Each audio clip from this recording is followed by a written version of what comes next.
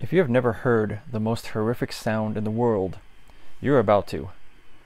This is the stuff of nightmares. I apologize in advance for the trauma that I will now cause.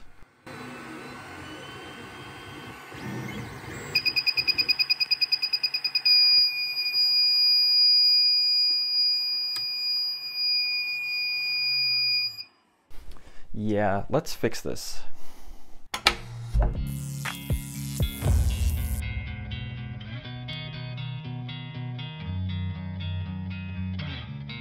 Thermal runaway error is usually caused by the printer not being able to properly regulate the heating during the printing process. It can happen with either the nozzle or the bed.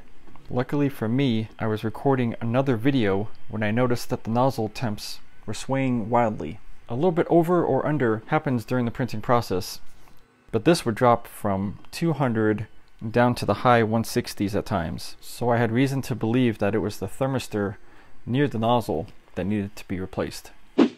So these are the tools that I used for this repair. First you have to remove the two Allen head screws holding the fans onto the heating element nozzle part. Okay, you move that aside and you'll see a wire bundle that is taped together with heat resistant tape. That's this yellow tape, this yellow film right here. You want to carefully cut that apart so you can get access to the individual wires. You also want to cut one or two of the small zip ties holding the wire loom together so you can slip it back and have a little more slack to work with. Next step is to remove the screw holding the thermistor to the heating element. A small screwdriver is all you need. Try to do better than me and don't drop the screw behind the machine. Next, simply remove the thermistor from the bottom hole on the heating element. I've heard that sometimes there's dried plastic holding it inside and that it could break off when it's trying to be pulled out. Mine came straight out pretty easily, so be careful with this. Now the replacement kit I got is for splicing a new thermistor in. There's no need to pull out the entire wire assembly from the motherboard. I'll have a link in the description below for the exact one that I used in case you're interested. With this kit, you simply cut the old thermistor off. You cut the new one a little longer than the old piece, just to give me a little extra room to work with. Strip both ends off of the wires that you just cut to expose the wires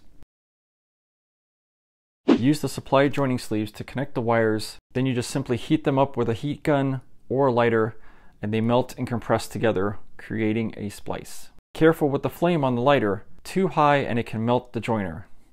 Do not ask me how I know that. Once they are spliced, you just reverse the process and slip the thermistor back into the bottom hole and use the screw to secure it to the mount. Don't over tighten the screw here as it can twist or break off the thermistor and you have to redo the entire process.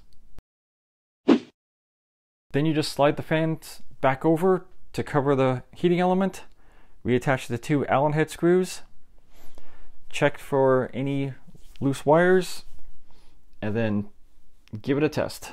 I've been meaning to print this dog phone holder for a little bit, so I just decided to do it. Starting off well, no, no alarm, and after several hours, this is the end result. I hope this tutorial has been helpful for everybody. It is fairly simple to repair the thermistor. It's something that if I can do it, anybody can do it. I will have links for everything in this video down in the description. If you like this video, please comment, hit that subscribe button, hit that like button. Hopefully this was helpful. Thank you for your time, and until next time, bye.